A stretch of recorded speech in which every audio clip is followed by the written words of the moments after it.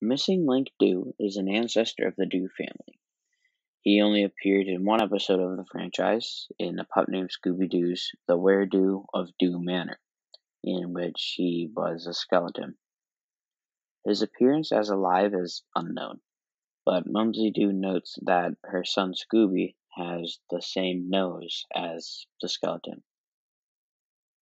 The missing link in his name refers to his missing leg bone, which the villain of the episode wants to find, as he believes if he found it, it would make him famous.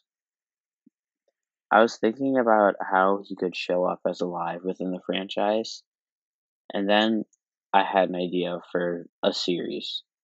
Uh, I'll explain it in another video. Anyways, thank you all for watching. If you did enjoy the video, give it a like and subscribe. Thanks for watching, and see ya.